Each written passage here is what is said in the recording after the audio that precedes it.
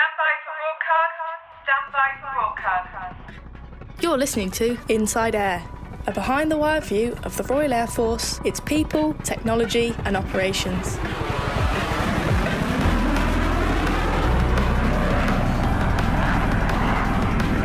Hello, my name is Flight Lieutenant Peter Lisney, and in today's extended episode, we'll discover why the RAF is looking to artificial intelligence to provide information advantage. We'll also reheat a few stories just in case you missed them, but first, see if you can identify this noise.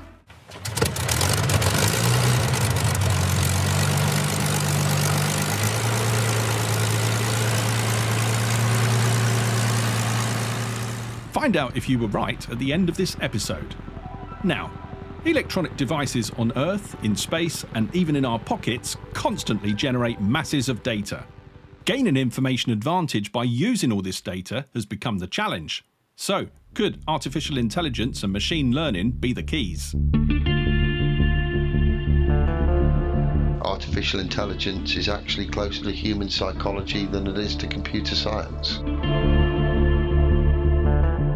If you have something that is able to learn itself, how can you be sure of the decisions that it will make? It's a never ending electronic battle. I'm joined today by Air Commodore Jez Holmes and Professor Patrick Baker from the RAF Rapid Capabilities Office. And they're here to shed light on uh, how the Royal Air Force is looking to artificial intelligence and machine learning to provide C4ISR advantage. Air Commodore Jez, Professor Patrick, thank you for joining us on Inside Air. No problem at all. Thank you very much. Hello, yes, thank you. Before we start talking about artificial intelligence and machine learning, can you tell us what is meant by C4ISR? Uh, C4ISR. So, command and control, communications, computers, intelligence, surveillance, reconnaissance. Thank you very much, Professor. Uh, let me just chip in on on that if I could, because you know let's let's have a think about why why we actually collect data and turn it into information. So the in, intelligence, surveillance, and reconnaissance is all about collecting data.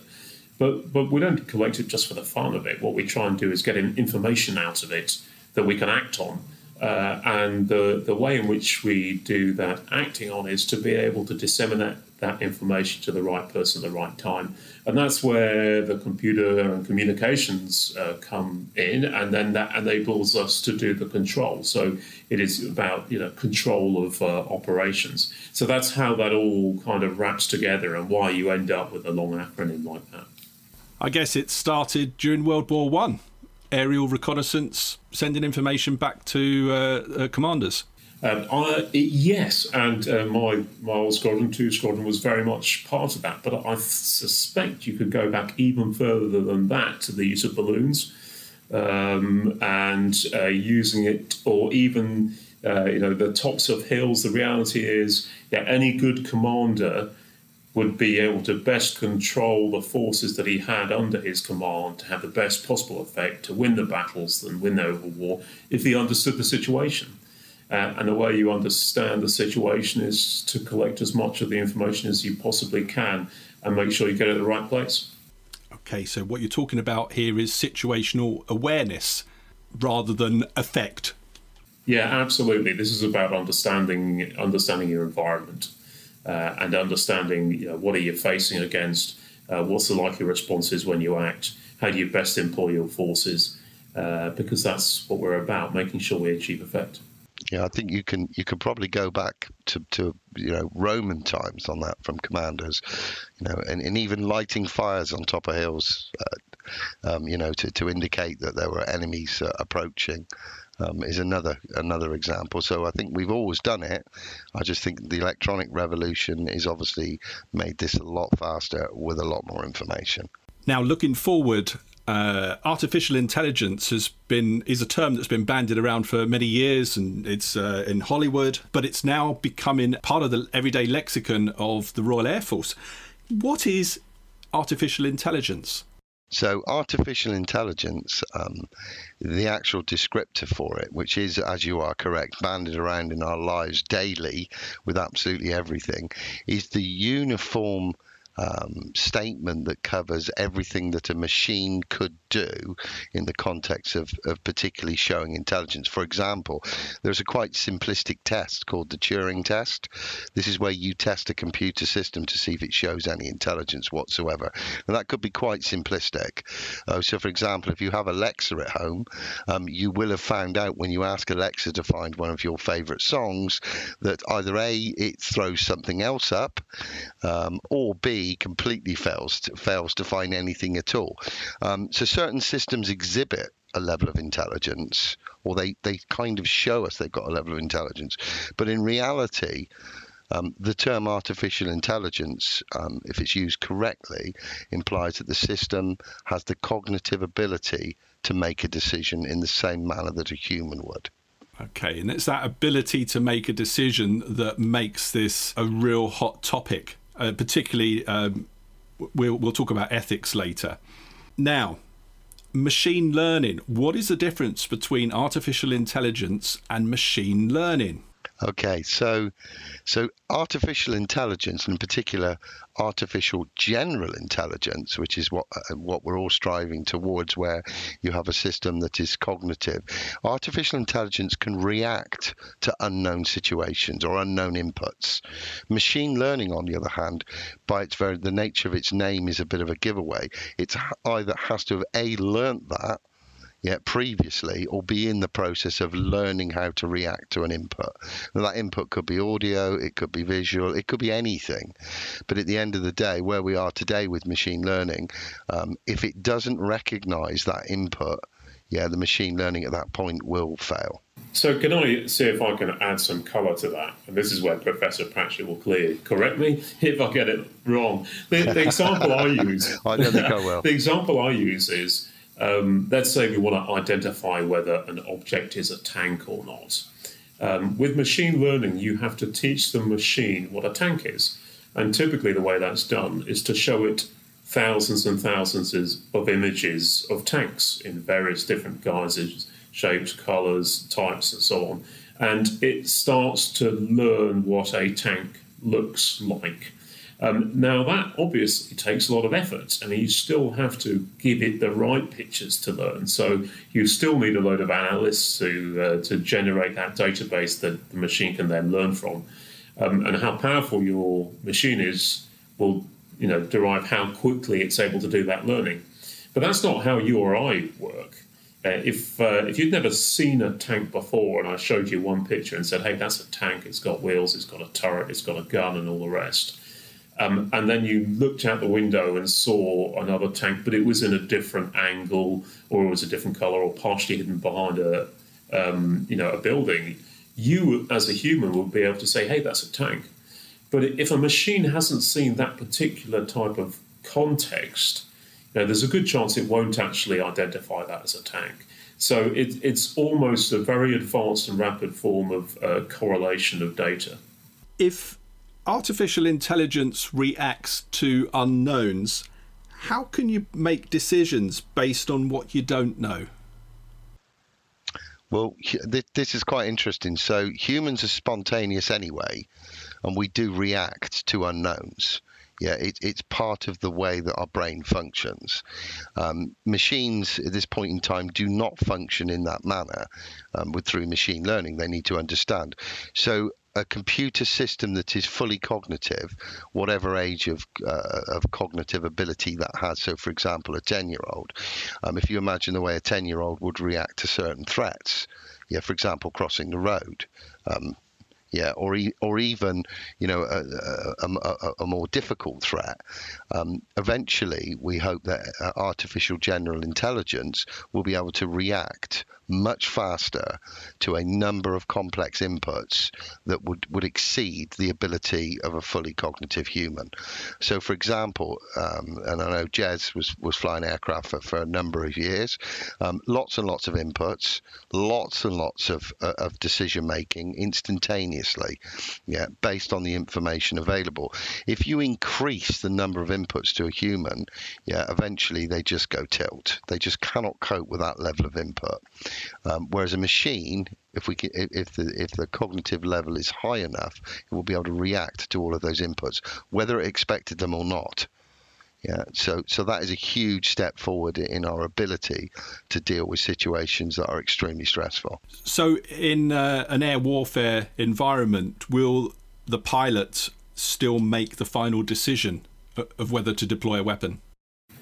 Uh, hundred percent. Um, in the in the United Kingdom, our, our policy is that we don't have autonomous weapon systems. What does that mean? That means that it that a, a, a, you know autonomous system could make its own decisions on what to engage or not engage, and we always need human involvement in the authorization of the use of lethal force. Um, but perhaps if I just um, take you on a slightly different direction uh, on your question about decision making.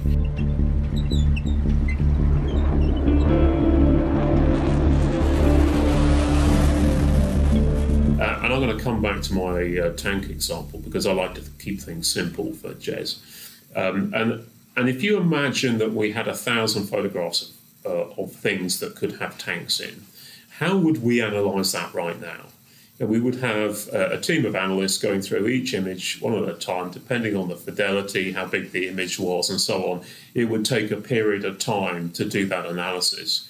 Uh, you'd be reasonably certain that when you got to the end of it, they had made all, made all the right calls, but it depends how long they were awake for and, and so on, and had they had a good meal the night before, and were they stressed, and you know were they under fire, and range of other questions. So, so what about this? We use machine learning and say, okay, you know, I want the machine learning to look at those thousand images. Now, if it comes out with the answer that there's 10 with tanks in, do I actually have to believe it or not? And what level of confidence do I have that that is the answer? But that's not the way to play this. Imagine if you still have your analyst, right? And then you you put your thousand images through your machine learning, and out comes the the, the answer that here's 10 images and here's the priority because this is the one we're most certain about. Your analyst now has to look at 10 image, images and not a 1,000. You know, that's two orders of magnitude change in the speed at which a human can make a decision. So often we talk about AI, not AI, you know, machine learning, not machine learning, human decision, not human decision. You know, we talk about it in this digital context as either on or off. Actually, what we're talking about is supercharging the human ability. Uh, and when Patrick talks about the inputs to to an air you know an aircrew um, made in a in a fast jet or any other aircraft, yes, you're getting a lot of inputs. But imagine if you only got the really important inputs, um, and you were able to concentrate on the critical decisions. Let's let's look at um, a Harrier versus the F-35B. Uh, They're both able to to hover and land vertically on a carrier landing a, a, a, Harrier was actually pretty challenging, especially at night, poor weather, on a moving deck, um, because the human was having to do a lot of analysis of data and move a lot of controls to try and balance all the forces of nature to get the uh, you know the jet on the deck. When we look at that in F-35B, they said, well, hang on a minute, that, that was that really value added? Did we really need the human to do all that difficult stuff? And so what they did was automate the ability for uh, you know the F-35 to hover, and so the process of hovering and landing an F-35B is now vastly simplified.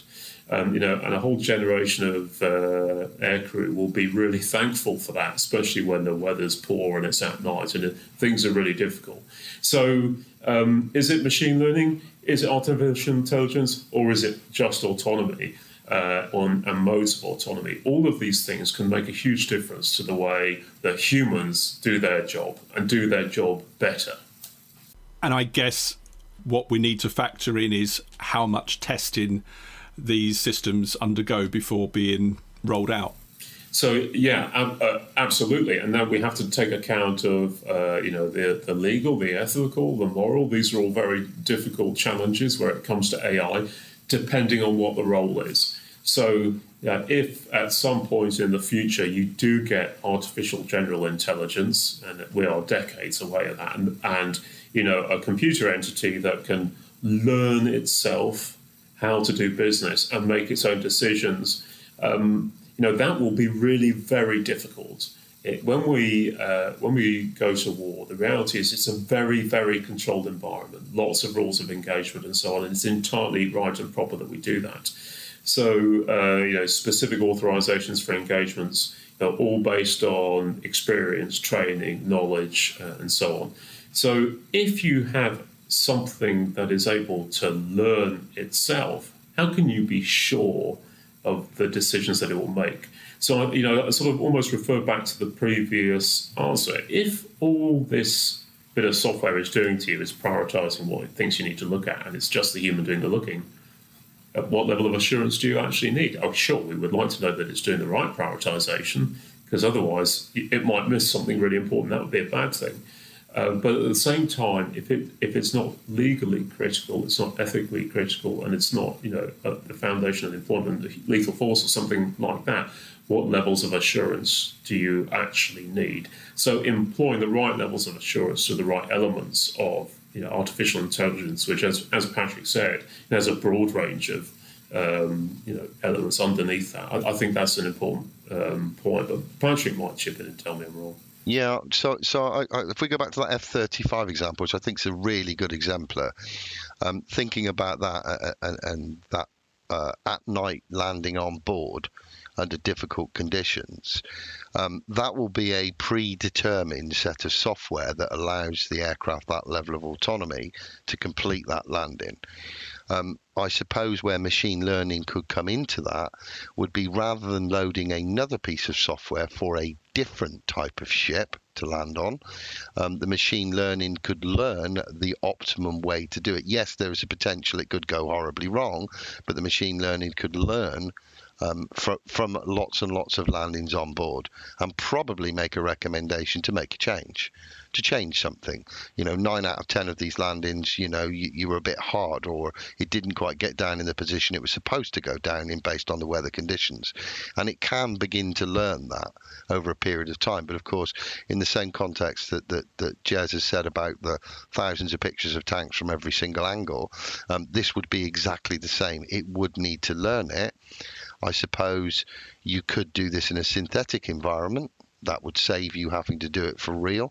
But that's where machine learning can assist. It is still assisting the human, it is not replacing the human in that context. But presumably, the Royal Air Force is also looking at using artificial intelligence or machine learning to validate decisions made by humans. How much will we rely on computers to check our work? Yeah, we do it every day, don't we? We, you know, if you've got a difficult sum, what you do, you get your iPhone out, do you get your calculator uh, on and, and, have a look. Uh, you know, I think uh, that's becoming natural in the way we operate these days. It, it's a basis of uh, confirmation or, or not. It, it, supports your decision making. It doesn't necessarily uh, make the decision for you. I used to fly two seat aircraft. And you know, if there was a really difficult challenge going on, guess what we did? We talked to each other and say, "Well, what do you think?" Uh, you know, I'm thinking this, and you would do that level of confirmation. This is where things like machine learning can help uh, that. So, are they final decision makers? Not yet. Um, but it comes down to what level of autonomy are, are you employing, and, I think we've covered there's a certain difference between autonomy, machine learning, and, and artificial intelligence. In terms of how we grade threats is the balance changing from the enemy's ability to throw a punch to an enemy's ability to communicate with its systems? That's uh, an interesting question. Let's let's put it this way: that um, it, the OODA loop, observe, orientate, decide, act, which you know, has been around in warfare for decades, is still really, really important to us you, you need to get round that OODA loop, i.e., um, see what's going on, understand it, decide how to what to do, and then do it. Um, you need to do that faster than your enemy. Uh, that's the important point. And we have been really good at the OODA loop, but our enemies have also observed that we have been pretty good at it, and they've they've worked really hard at um, you know trying to gain parity or, or even being better. So I think what's really clear now is as we go forward, the future of warfare is very much about information, and therefore you'll hear terms like information advantage. And, and what does information advantage really mean? Well, well, firstly, the information aspect. This is the right information to the right person at the right time. Uh, and what's the advantage bit? You're doing it better, faster than your enemy. And if you have information advantage, your your decisions will be quicker and better, and the likelihood is your punch will land at the right place and at the right time. So you'll see a huge focus on you know more sensors, collecting more data, and ensuring that that's all disseminated into information for the warfighter and the commander. Uh, and the critical bit, and this is where AI and ML really come to play, is how do you turn all that data into information? If I could just sort of extend that even farther, even more importantly, so so if you've got so many sensors out there now, whether they belong to you or they belong to others or they're just open source sensors. Um, one of the interesting factors here are if we were to be purely human analysts involved with this, as Jez has already alluded to, that you become cognitive overloaded very, very quickly. Um, one of the interesting things is with machine learning, if you think back to the tank, um, you know, lots, you know, maybe a thousand images of a tank. So machine learning reacts better to more information, more variables, more information. You will stand a much higher chance of getting a better result. So in reality terms, the more information there. So information advantage really is about being able to to gain more data, yeah, expedite the way you process that data, process it as close as possible to the point of collection, yeah, which will output useful information to inform, so that you can then you can then cause the effect that you wish. Air Commodore Jez, I've heard you say never give a machine's job to a human. What do you mean by this? Ah, okay, that that's uh, an important aspect of how do we employ uh, machine learning and artificial intelligence uh, to give us information advantage. And what, what do I mean by that? that? Let's look at the amount of data that it is possible for us to be collecting in the future. Um, and where are those sources of data? I've got in front of me an iPhone. Uh, that's got a number of sensors on it already. So it's got two cameras, it's got a microphone, it's GPS, and various other things. Now, how many iPhones in the world? Uh, I have no idea, but but it's got to be a lot, yeah. And how many other types of mobile phones, and how many cameras, uh, and how many CCTV cameras, and how many other kinds of sensors. There is an enormous number of sensors out there collecting information all the time, and typically they are specifically targeted to do one thing because that's how we work. Uh, and if I bring that into the military context, let me give you an example. If I have a reconnaissance pod on an aircraft I typically am tasked to go and collect specific imagery. So uh, go and collect X number of photographs of this location here. Uh, and then we'll do the analysis on that specific location, those images, to understand if we can answer the question that we actually wanted to answer. So we end up tasking single sensors to go and answer single questions. But what if I just did a Google search? Can I answer that question? What if I can actually access all of the sensors that are already in that area? What if someone just posted on Twitter or on TikTok or on Facebook? Uh, you know, what about the local CCTV camera? What about the local traffic information that's monitoring how vehicles move around? There's an absolutely extraordinary amount of data out there um, that's available to us. And there's also an ever increasing amount of data that we intend to collect. And some of the sensors that we are developing right now yeah, are collecting multiple gigabytes of data per second. You know, that's the equivalent of several hours worth of HD video every second. So, what involvement can a human have in trying to analyze that? Now, the, the reality is, it's almost impossible to do it in a meaningful way. So we know we're going to have help. So how can this um, artificial intelligence and machine learning revolution change the way we do business here. Instead of perhaps focusing specifically on you know, that question, that sensor, that answer, what if we could uh, achieve all of this data and allow the machine learning and, uh, and AI algorithms to roam through it? Then not only are we you know, asking um, asking a question of a particular bit of data, but we're asking it of all the data. So instead of saying go and take a picture of that area, why don't we just ask the question? You know, is there somebody at this location? And I don't care where the data source comes from. Well, currently we can't do that, but there's a, there is potential that AI and machine learning will bring that ability to us. But then it goes even deeper than that. What about the patterns that we can't see right now because we don't have the ability to see all the data? We see all the data and allow the algorithms to run free, will they identify patterns we didn't know even existed? In fact, they may even be able to pick up trigger point patterns that shows what will happen in the future. And if we look at uh, the number of major events in the world, that in hindsight we can see all the leading uh, you know, points of information that would have told us that something was going to happen, but we can't see it in real time. But here's the here's the opportunity right now that AI and machine learning may be able to do that in near real time. And so this is absolutely about supercharging our ability to turn data into information. Mm, I mean, sort of drawing drawing on that, uh, Jez. So exemplars being, if I want to know, and one I normally use for this is is uh, is my daughter, one of my daughters at school today. Now, in, uh, old speak, I would have probably had to ask for an asset to be tasked to go and fly over a school, maybe use a camera, use some facial rec- recognition software, yeah, during um, during one of the breaks to identify in a group of school children. Um, the way this is changing with the Internet of Things, I don't need to do that anymore. I just ask where she is by name to the internet and any entries she's anything she's put into the internet will flag straight back up to me. Um, that that's a good example. Another example that machine learning can help us with is not what is what is out there by way of um, information, but more importantly that there isn't any information that is just as useful in a lot of cases. Um, so, you know, everything has a digital signature.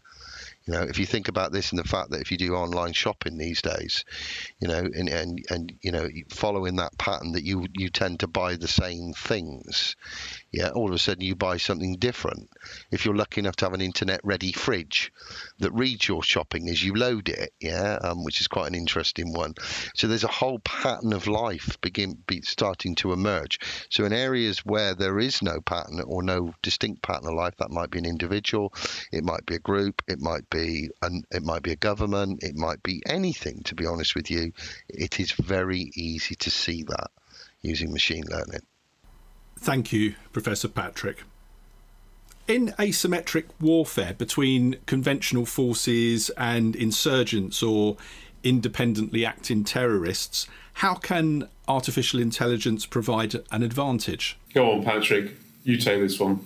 Okay, so in exactly the same way. So, looking at, the last 10, maybe 15 years worth of operations, um, in, in a counterinsurgency type operation, um, this goes back to exactly the same as um, you would have expected looking at some of these nations uh, and the lack of infrastructure within these nations that, you know, that this electronic signature wouldn't apply.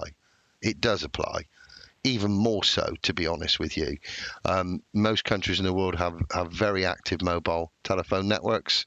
Um, it's very, very easy to gain information from that. I think the other issue that we need to be very aware of artificial intelligence and machine learning is in reality software. It is not difficult to produce software. You do not need a giant size factory, the same kind of environment that you would produce aeroplanes in, for example. Yeah, you need the ability to do this. One of the concerns for the Western world in particular is that some nations, in the same way that they would not be very fussy about exporting weapon systems, are certainly not fussy about exporting expertise within machine learning and AI to anybody that is willing to pay for it, which I think for, for particularly for the United Kingdom, and I know the RAF are looking at this, it means it spurred us on. We need to ensure that our information advantage, our artificial intelligence, our machine learning is better than our adversaries. Um, we just, in the, in the same context, we cannot think of those as peer or even peer plus adversaries. It's everybody. And presumably, the more we come to rely on this information, the greater the risk there is to countermeasures. Um, there is and there isn't. So, for example, certain machine learning techniques that, that are under development and so, some are much closer to reality than others um, alleviate um, some deception. So you can go back to camouflage in, in the same context. You can camouflage an object. Um, so if something's on the ground, if we take one of Jez's tanks on the ground um, with a camouflage net over it, then you can find it using radar, or you can find it using, you know, uh, infrared if it's hot. Yeah. So there are ways to counter um, you know, attempts on your machine learning. There are ways to counter for us to then obviously affect other people's machine learning. It's a never-ending electronic battle. Okay, thank you. What is AI singularity, and, and, and when are we going to get that? Okay, AI singularity is the realization that we have created um, artificial general intelligence. The current academic thought, in other words, it has a level of self learning cognitive ability. We're not going to set it off down a path to learn anything, it's become aware yeah, whatever aware means. I mean, I know plenty of humans that aren't very aware. I'm probably like that on a Friday afternoon when I've been working all week, but generally the system is aware. Yeah, and that that cogn- that singularity, that level of cognitive ability, yeah, that is directly recognizable um, as the same as a human, probably a child, yeah, is not envisaged, yeah, before about 2060. Does that mean a computer will have a conscience then? Um, conscious is a is a whole different thing. Yeah, computers, I believe, it's an inanimate object. It probably won't. It might learn what is the ultimate, uh, what is the ultimate answer to a various various range of questions. So, for example, playing chess. Um, if you play chess against a computer, there are a number of, of, of moves only. Yeah, based on the position, current positions. So, is it going to feel bad that it lost? There is a machine learning technique which has a reward feature within it um, called deep reinforced learning. Yeah, where each of the agents that has, and they're called agents that has machine learning on, are electronically rewarded. I don't think that means that they get any more electricity or you know more power, but they are kind of rewarded for, for doing for completing tasks.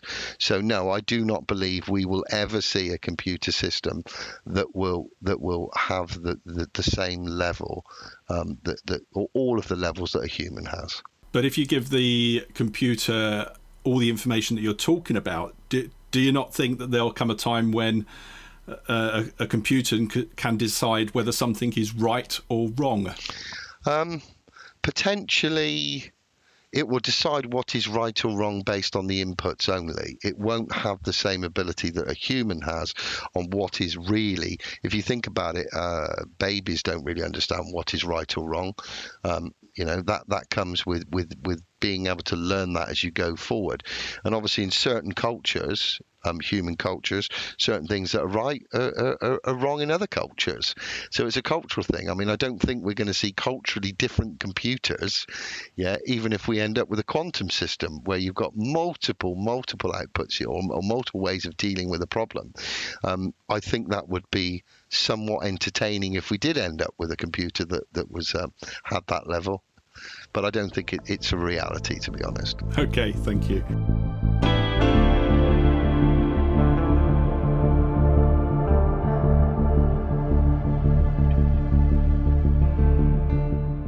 Finally, Air Commodore Jez, can I ask you about the Rapid Capabilities Office? This I've never been to your office. It sounds fascinating. What do you do there? So, uh, Rapid, Rapid Capabilities Office, we were formed in uh, 2017 uh, really to help um, generate the cutting edge for UK air and space power. Well, what does that actually mean? Uh, what it means is uh, our, our current acquisition processes um, you know, can be uh, quite slow and cumbersome in responding to immediate changes in situation, changes to the threat. Uh, and it's extremely good at big, delivering big strategic programs, but but things change. Uh, and um, if you look at, I don't know, for example, Tempest, the fighter jet that, or system that might replace Typhoon, that will come into service 15 years away, and yet um, we're already having to close in on what the requirements might be. What does that mean? That means we have to guess at what 2035 might look like. What will be the demand? What will be the threat? What will be the environment? Uh, and in doing so, make some assumptions uh, and draw up some requirements, and then try and uh, design, build, manufacture something to be able to deliver against it. So you know, that's quite a slow process. If you think 15 years ago we didn't have an iPhone, you know, imagine that. So the world changes and it moves very, very quickly. So how can we help to tackle some of those rapid changes? And are there opportunities we can use with uh, stuff that's already on the shelf um, through experimentation and trials to give uh, give options and opportunities. So so that's our you know our DNA, if you like. We do a lot of experimentation and trials. Doesn't necessarily immediately result in a um, uh, in taking something to the warfighter, but it might do. Um, but what it definitely does is help to inform what the opportunities are. Uh, we're, we're, split down into three divisions. The Future Combat Air System division that really is about um, uh, that is about uh, Tempest uh, and what we'll replace Typhoon with. Uh, and that's focused on doing the research and development of technical maturation, generating the skills within the UK. we've got a range of, um, you know, technology demonstration programs that are coming, you know, from sensors to new engines, to make sure we're ready and we understand uh, the full opportunity that exists in research and development in combat air. And I've also got uh, the Air Information Experimentation Lab. That's where I'm sat right now. That's where Professor Patrick comes from. Uh, and you know, does pretty much what it says on the tin. We do experimentation around how do we do information advantage. Um, and then finally, I have a division that's called Projects, pretty bland name. Huh? And it's bland because it will ta- tackle pretty much any challenge you throw at it. And it might be that it's spotted a new technology that's cropped up that will uh, we'll be able to do some experimentation with it. We'll take it to the warfighter and say, you didn't realize you needed this, but it's going to change the way you do your business. Or it's because the warfighter will come to us and say, we've got a real challenge here. And for whatever reason, business as usual can't respond in the timelines or hasn't got a solution for us. And we'll, we'll have a go at that. Now, that's a really diverse team. It's a classic innovation hub. Um, and it's full of uh, scientists, civil servants, uh, and RAF personnel and we've got everyone, you know, from logisticians to operators, uh, commercial, uh, you know, you name it, we, will pack it all in. Uh, and uh, you know, the point there is to try and be as holistic as possible when we tackle challenges. Make sure we're looking at the information aspect. Make sure we're looking at certification, and ensure that we come up with the best possible solution. And if necessary, trial and experiment or or provide that. And to give you an example of some of the things that that that division's up to. Uh, it's the one responsible for delivering the Royal Air Force's swarming drone initiative and the trials and experimentation with that. It's doing advanced robotic manufacture of uh, flares for defensive aircraft and expendable active decoys. It's looking at uh, rapid infrastructure builds for classified facilities. You know, the list goes on. You know, 120 odd um, uh, projects running there. So, for our personnel on the ground uh, who have identified issues and the, the Air Force is renowned for attracting uh, some of the best minds in the United Kingdom to come and become aviators. If someone has a, a has identified a challenge and has got a solution, or at least an idea for a solution, are you interested in hearing from them? Yeah, absolutely. Uh, I'm always interested in hearing from people, especially if they've got a especially they've got a challenge that they're really struggling with. Uh, and you know, another aspect of what we do in the Royal Air Force Rapid Capabilities Office is um, we help to run some of the innovation, the innovation strategy. Uh, and we have uh, open calls where we, we put out a request uh, as widely as we can for people to submit their ideas to us. Uh, you know, we have some uh, Royal Air funding to help with some of those ideas. There's uh, Astra. There's great opportunities for people to get involved in Astra and put their ideas in. We have access to Defence Innovation Fund, uh, so we can help to support and write up proposals and put those in. Uh, and of course, we have the, the RCO uh, resource as well uh, that we can put to task.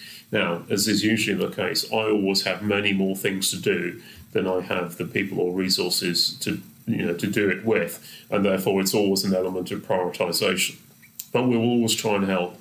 And at one of the one end of the scale, I'll provide someone to come and sit with you uh, for a meeting and help you uh, facilitate the thinking and the analysis of the problem. And at the other end of the scale, we might uh, take on a full program that includes in-service delivery and support and disposal. Um, but I, I guess I, I just leave one thought with you, which is around problem architecture. And if I had my chief scientist alongside me, he'd be kicking me in the shins right now if I didn't talk about it. Now, we have a habit, quite frankly, of sometimes looking at shiny toys and thinking, i would really like one of those. Um, or we have a habit of, uh, I my rifle's going out of service, I better replace it with a rifle. I just want one that's better, lighter, stronger, you know, faster bullets, whatever it is. You know, that, that, that is typically uh, how some things are done. But, but what we need to do now is start architecting problems. So, what are you actually trying to solve? Uh, let me give you one example. If you have a reconnaissance pod on an aircraft, I'll come back to that. You know, we spoke about that earlier. And you said to me when I was flying Tornado, we're going to replace your reconnaissance pod, it's old. Yeah, you would ask me what what do I want, and I would have said, well, I, I need another reconnaissance pod, but it's got to have a better sensor, better picture, collect more data, take more pictures, you know, disseminate it via, via uh, radio communications or whatever. But that's closed thinking. Let's do that problem architecture. What are you actually trying to do? You're trying to collect data to get information. So the answer might not be a reconnaissance pod these days. It might be Google. It might be space. It could be a range of other things. So really architecting the problem that you're trying to solve and get down to what are the outcomes and the benefits you achieve, not the requirements. That's solutionary. What are the outcomes and benefits you're trying to achieve, and how many different ways can I look at this problem? And then that will naturally lead into the best set of solutions for you to experiment with to see which solves the problem the best. And then finally, you know, don't try and get the 100% solution to start with. Right? You'll be wasting a long time, it'll cost you a lot of money because there's always risk in what we do and we're playing with cutting edge technology. It doesn't always work. You'll have seen what happened with Elon Musk. Uh, but what did he say when that thing crashed yesterday? He said, that was a success. We got all the information we needed. So, what's good enough? Uh, what is good enough for you right now? And then we'll use it and we'll learn how to make it better a bit, and then a better a bit more, and then better a bit more. Right? Get things in, get them up and running. Uh, you know, don't be afraid to to try things, to experiment. You know, whether it's a new process, or, or whether it's a new bit of kit. You know, we often focus on kit, but process can change. Process change can can uh, enable us as much as new bits of kit. But really think about what are you trying to to do. I, think as well, sort of further on that, obviously biased towards information. It's the department I work in, but one of the things that I found most interesting is the fact that. Um, you know, it's a kind of dark art communications information systems is a bit of a closed shop. Um, machine learning and artificial intelligence has opened it to a much, much wider group. Um, what we're beginning to find things. So, for example, if you stop and think about it for a moment, artificial intelligence is actually closer to human psychology than it is to computer science. Um, because that's how we wish it to work. So, so that makes it really interesting. So you don't need to, in all context to be a geek to be involved in this. Um, you just need to be able to think, and I think we can all think. Air Commodore Jez Holmes, Professor Patrick Baker, thank you for coming on to Inside Air. I hope our people will look at situations uh, in front of them and seek you out and find you and share their problems. Yeah, and we'd absolutely value their input. So thank you very much for the opportunity. Thank you very much. Thank you.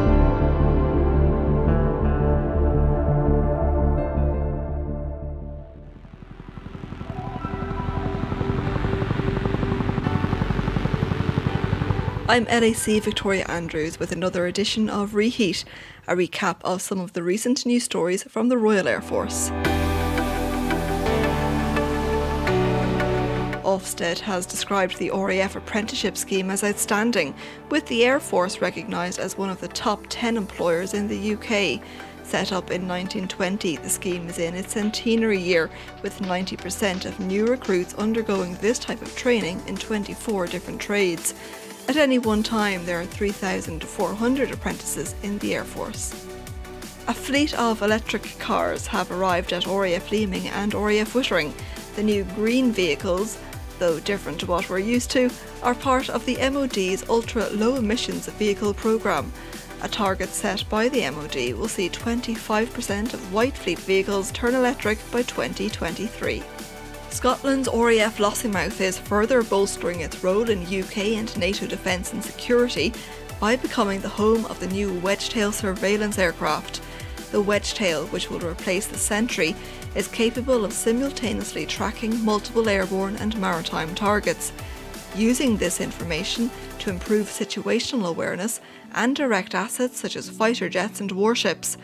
It comes as the base completes a multi million pound facilities and runway upgrade programme.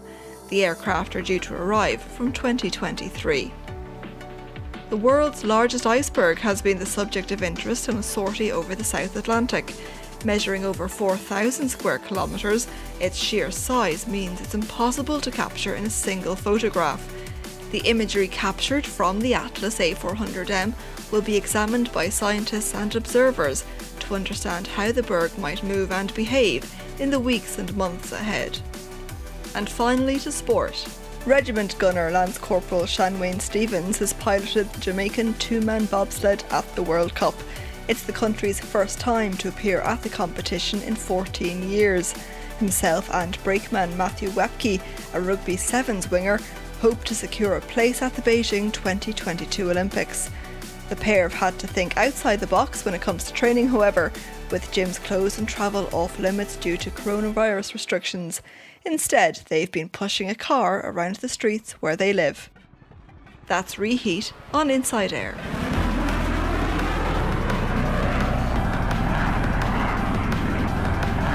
I'm SAC's Simon Ross with this episode's Name That Noise.